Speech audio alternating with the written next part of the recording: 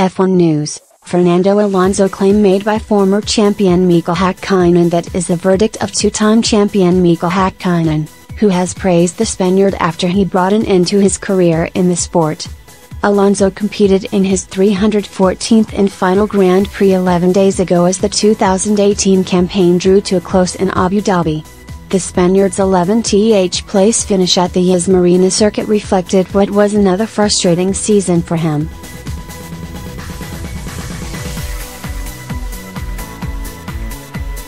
Collected just 50 points from 21 races, failing to get himself on the podium at all. Alonso is said to stay in motor racing though as he aims to become only the second man to secure Triple Crown glory. Hakkinen claims the 37-year-old ought to be remembered for more than just the two titles he won with Renault. Fernando Alonso's departure deserves special mention, Hakkinen told. He won two world championships, and yet only eight world championship points separated him from potentially winning another three. His achievements as a driver are not reflected by his titles.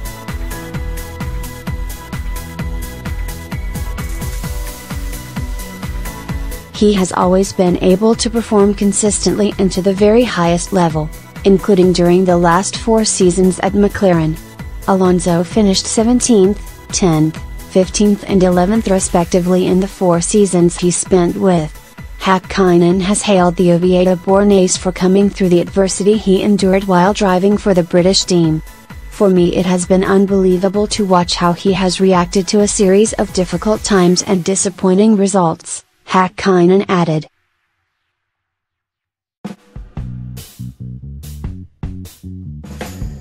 You can only be proud of seeing a professional sportsman remaining so positive, focused and professional, whatever the circumstances.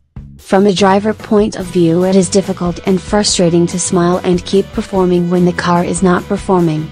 I have a lot of respect for what Fernando achieved during his time with McLaren in Formula One, as he showed a lot of courage and loyalty to the team throughout this tough period.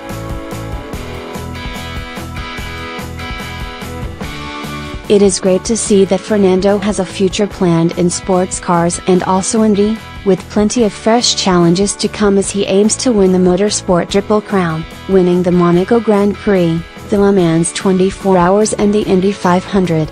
He has already the first two, so I wish him every success in next season's Indy 500 with McLaren. Next news Ricciardo, ticking brain and lack of sleep impacted performance. Daniel Ricciardo believes the inner commotion generated by the stressful process of deciding his future likely impacted his performance last summer. Ricciardo enjoyed a profitable start to his 2018 campaign, winning in China and Monaco and positioning himself before the summer as a genuine contender for the world title.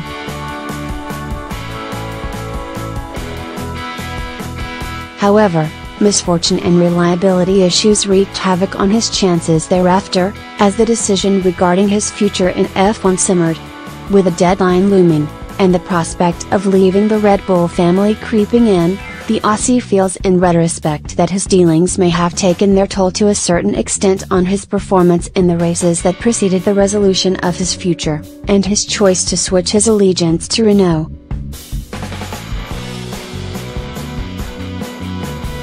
I feel like even if I was to, say, trip and fall over on the way to the car and scratch all my arm, by the time I got in the car it would be blacked out in my head, he told ESPN. I guess what would have effect, which you probably don't think at a time, is when you're away from the track and instead of getting 8 hours sleep a night, you're getting 6 hours sleep because your brain is ticking, for sure this has some form of an accumulated effect.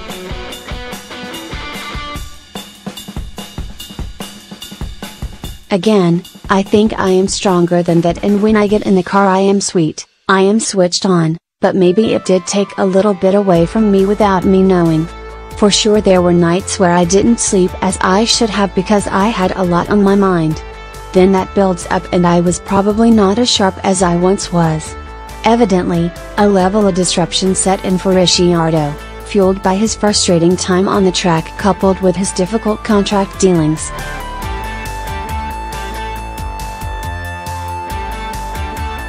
Looking back he reiterated his belief that 2018 was without doubt his most difficult season to date in F1.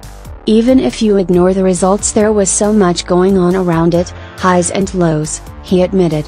Some of the DNFs were crazy but then the same year there was the high of Monaco and stuff like that, so it's a weird one. It was definitely as intense a season as I've experienced, both before and after I decided what I was doing next year.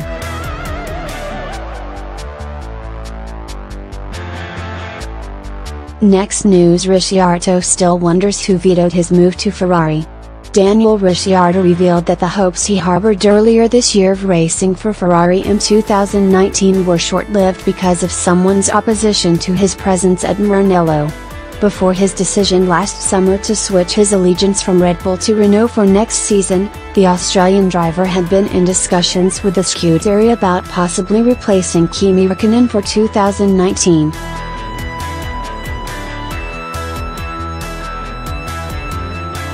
In the end however, the talks fell through, with speculation that Ricciardo's financial demands had perhaps exceeded what Ferrari was prepared to offer. I can't say why, he told Italian outlet Hottomoto when asked if he wanted too much money. I don't know what you're talking about.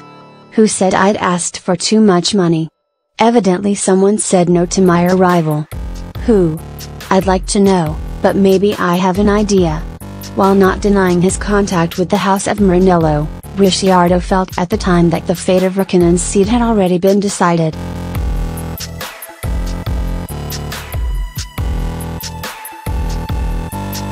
We had discussions, but you could see that they had already made arrangements with Leclerc, so my talks fell through, he added. I hope for them that it's the right choice and that it works out well. As far as I'm concerned, I hope to still be in F1 for some time and maybe there will be an opportunity to meet again. Next news Verstappen slams F1 stewards, penalties were all over place in 2018. Max Verstappen has described Formula One's penalty system as too inconsistent in 2018, after numerous incidents involving the Dutchman. Verstappen was given his fair share of penalties last season.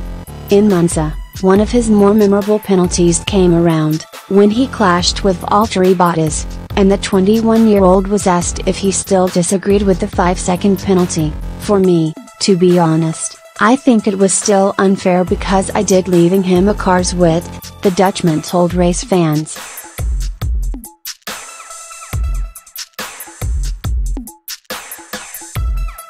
I think it happened the year before as well with Felipe and his teammate at the time. I think penalties in general the whole season have been a bit all over the place. Sometimes yes, sometimes not. Of course, looking back at it I could have braked a bit straighter instead of going to the left, but when you're in the car it's really difficult to judge that when you arrive at 300 kph.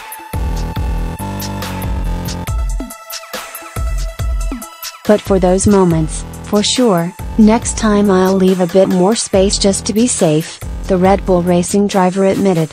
But I'm also there to race hard, I'm not there to give up my podium position.